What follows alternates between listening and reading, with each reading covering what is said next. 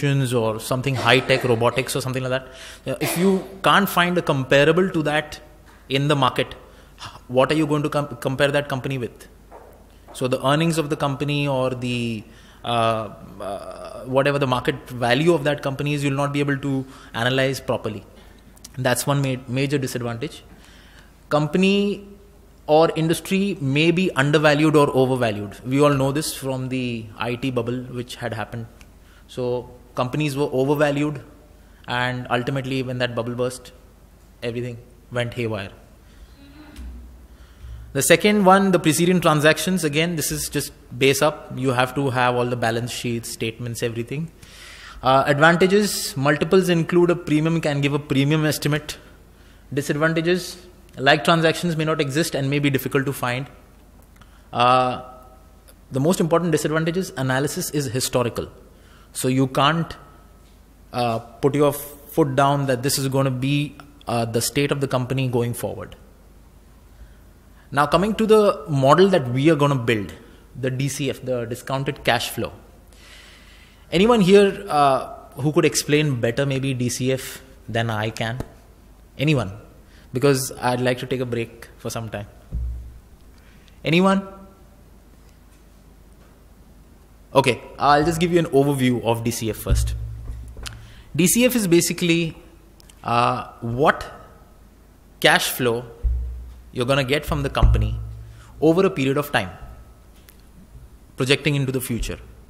What we were doing till now in our sheets was projecting, projecting, projecting everything the income, the assets, the liabilities, everything. So, why were we doing that? We were getting to understand what the company is going to be worth after a certain period of time. Now, this, the DCF analysis, uh, gives us two ways to understand that. The first is you have uh, an approach which is uh, you think about maybe the next five years. So after five years, maybe you'll continue. Uh, if you've bought that company, you'll continue keeping that company, or after five years, you'll sell that company off, right? So uh, you have different people have different thought processes.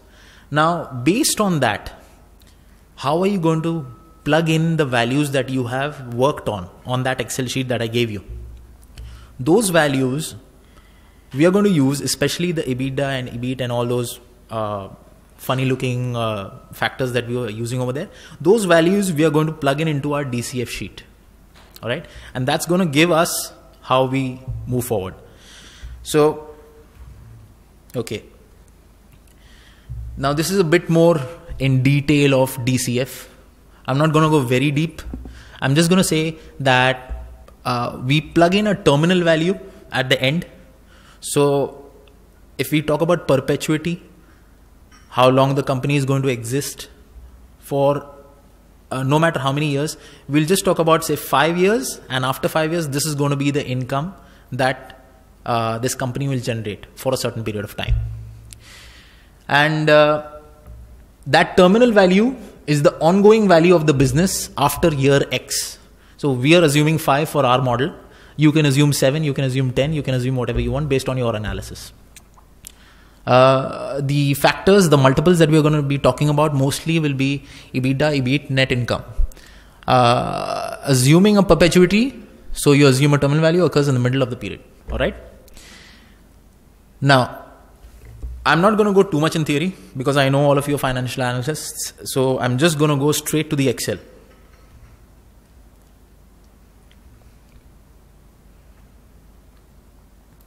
All right, now uh, if you've downloaded the second template that I was talking about, this is the accretion dilution. Yeah, this is the DCF. Do you have this? Because this I want you to do with me hands on. It's a very short one. It won't take more than 15 minutes or 20 minutes if we do it properly. You have this on your uh, screen with you? I've put in the values because I know most of you did not complete the first sheet. So I've put in uh, some other values over here. So for this analysis, these values should be sufficient. All right? Okay, so let's begin. Now, the valuation date, if you see over here, is the 1st of Jan this year. and the share price is $25 per share. We are talking about the uh, the revenue generated in actuals was this and projected is this all right i've already done the calculations so you don't have to do them again because i don't like repeating what we did already earlier so this part is done for you.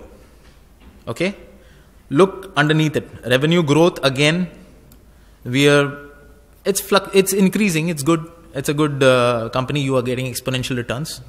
Slightly exponential returns. And you have your EBITDA margin which is almost constant at 35 all right so based on that EBITDA margin we've also calculated our EBITDA.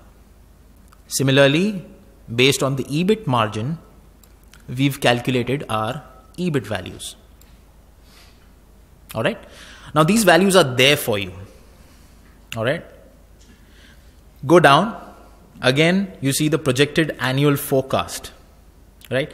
This is where we did the cash flow analysis on all those things. These those details are going to come in here so you have your cash you have your accounts receivable you have your inventories you have your prepaid expenses etc your accounts payable your accrued expenses salaries whatever and debt you also have your gross PP&E.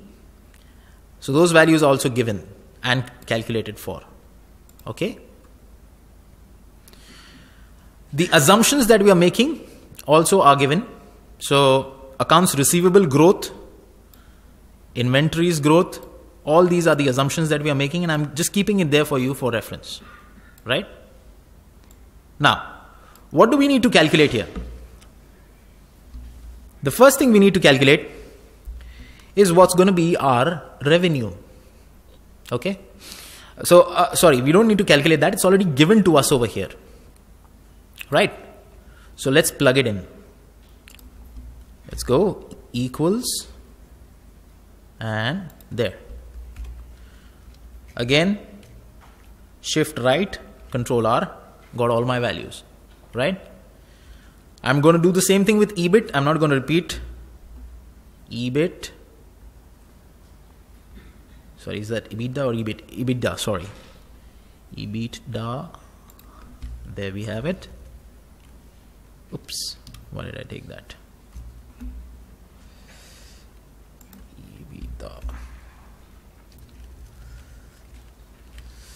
I hope you're following on because what I'm going to do is after this finishes, there's going to be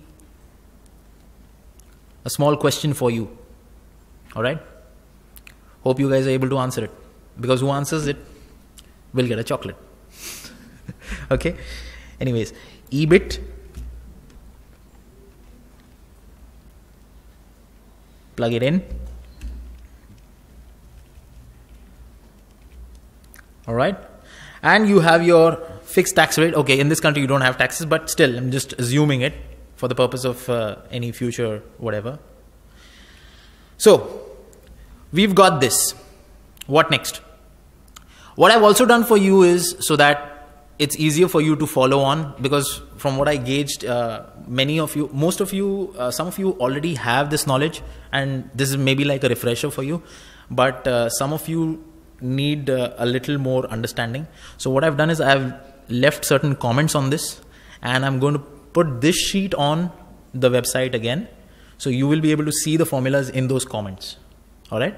So that way, if you're stuck somewhere, just copy that formula, paste it in the cell and try to understand where that formula is coming from. All right? So, the formula here we have EBIT into 1 minus tax rate. So, that's equal to what's our EBIT into open the bracket. Oops. EBIT into open bracket. 1 minus tax rate. All right now getting the format oops sorry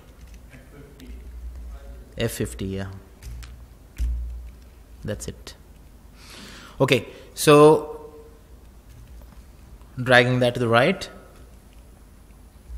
There we have it. The depreciation again, we can plug it in. We have the depreciation here. See it? So let's plug in the depreciation. Is equal to? This.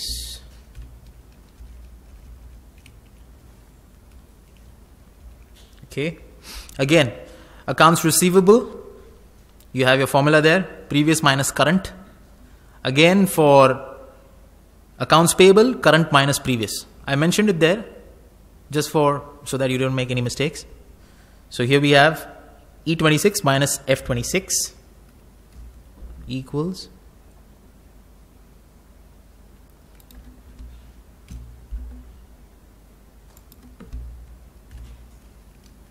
I'm going to drag it to the right.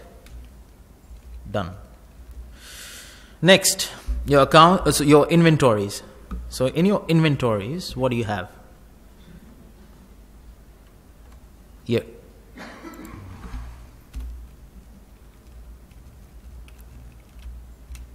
And prepaid expenses again. Here. Okay. So that's our most of our uh, cash non-cash. Moving on. Accounts payable. Current minus previous again because payable you still have to pay the cash is with you it's a positive receivable you still have to receive the cash is not with you so negative all right so current minus previous f30 minus e30 I'll just do it again for you.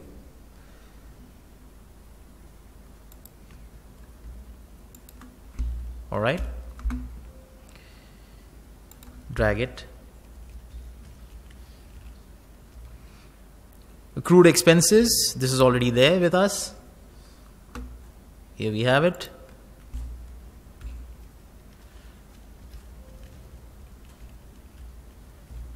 And then finally, capital expenditures. Now, Capital expenditures, again, previous minus current. Okay? Just so that you keep that in mind, I've again kept a, a comment over there for you.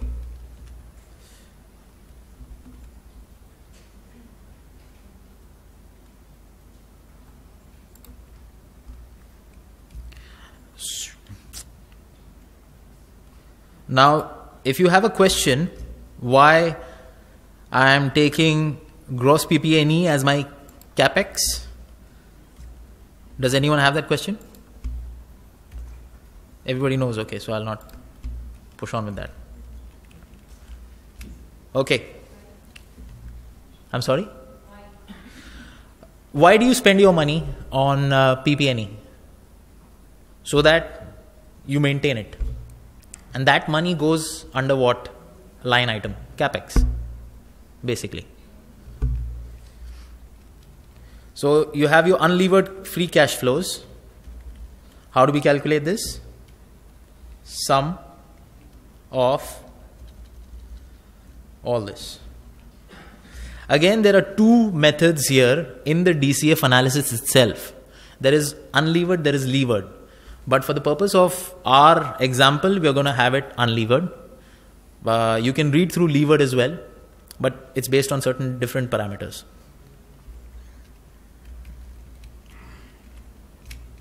Okay. Now, the cost of capital, we'll calculate this at the end. So I'll leave this part out right now. But when we come to the end, we'll come back here. Okay, it's not a big sheet, just maybe another two lines, I guess. Yeah. So, yeah, yeah.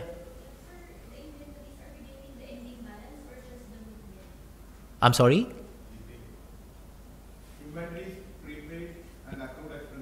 Yeah. Are we supposed to take the closing balance or different per moment? Uh, here you're taking the movement, yes? Yeah, the next one, inventory. No, you're, you're just taking it directly from there. Uh, sorry, yes, you're okay. You mean to say minus, yes? Yes. Oh, okay. Supposed to be the variance only, na? Right, right, right, right, right. So you can take the variance. Let me just Prepaid. One second. I'll do that. My mistake. Sorry. So that was previous minus current.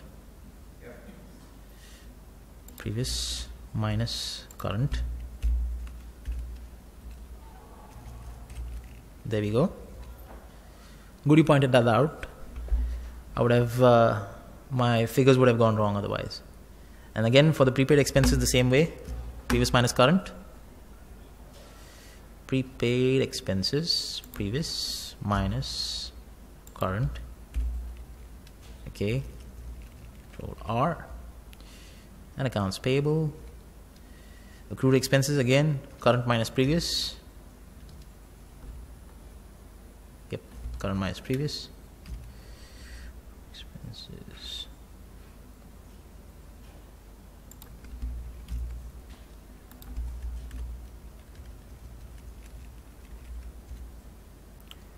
Capital expenditures. All right.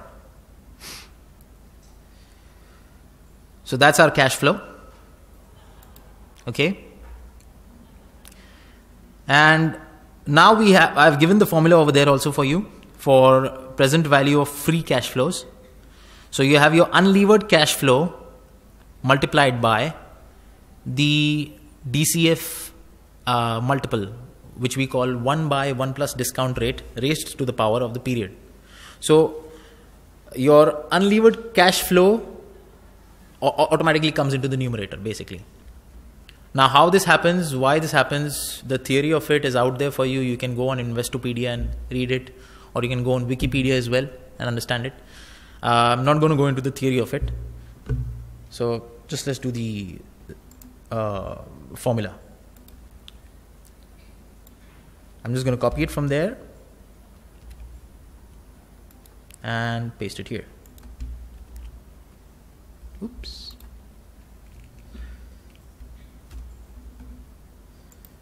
Why did that come? Copy.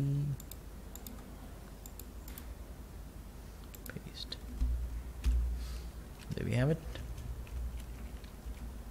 Okay.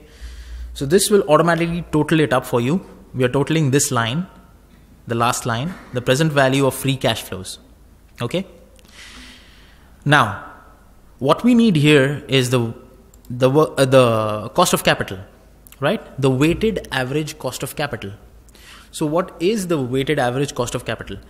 Basically, here is the calculation. So, you have a share price, all right? You have the cost of debt, and these are the assumptions. The cost of debt is this much, the tax rate is this. So, after tax cost of debt, you calculate like this. I've already given the formula there because I just want to keep this session a bit more interesting rather than going only into formulas. So here you have your after tax after tax uh, cost of debt, and then you calculate your total debt and your total equity. Once you've done with that calculation, you get your total capital, right? So the weighting of the debt and the weighting of the equity is basically a percentage based on what we are getting from here, the total capital. All right? And your weighted average cost of capital is this formula. I purposely not kept a comment for that because I want you to understand why that is there. So you go into it, you understand why that formula is coming over there, and you'll be able to give a better definition for weighted average cost of capital by understanding it basically. Now, this WACC WACC, we're going to use it here. Okay? So, is equal to, where is our WACC?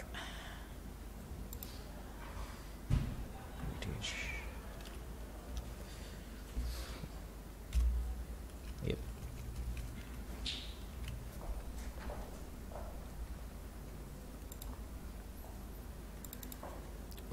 Oopsie. Too many significant numbers. Happens sometimes.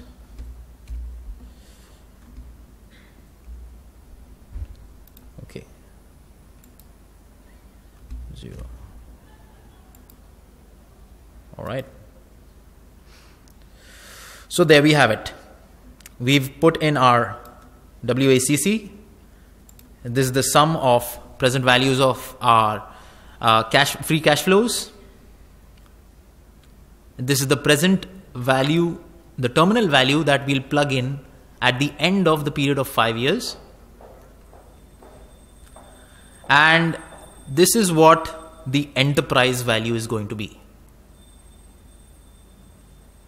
Less net debt, obviously, so equity value. So here we have what your enterprise is worth, move the net debt, all the debts that the uh, company owns, and you have your equity value. Finally, you calculate for the diluted shares which are outstanding in the market, and you get your equity value per share.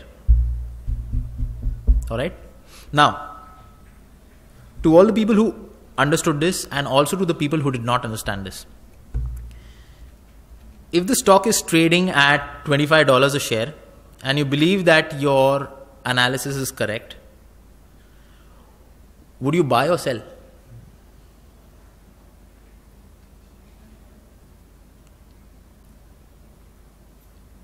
There's only two answers buy or sell. So, who said buy? Buy? Good one. You'll buy, yes. Why would you buy? Exactly. So it's undervalued. Excellent. Excellent. So you should come to the stage, have a chocolate. No, no, please, please. Come, come, come.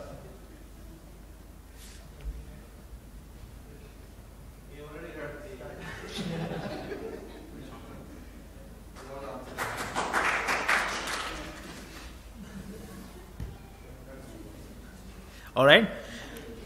So basically, you should buy. Okay. Now, if you've gone through this DCF and you've done, uh, because I've just left a very small bit out so that you can do it with me while we do it on the screen. I would like to know how many of you have finished it on your screens. How many of you have finished it?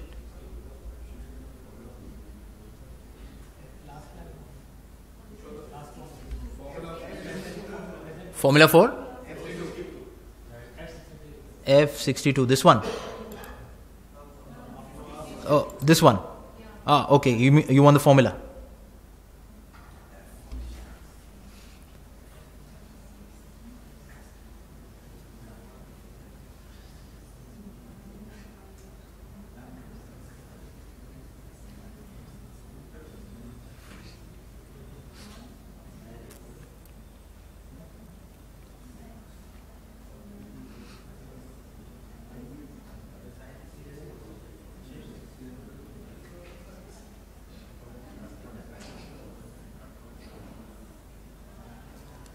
Is basically you're multiplying your unlevered cash flow with your DCF factor. Your DCF factor is 1 by 1 plus discount rate, that is 1 by 1 plus R to the power n. I'll just show it.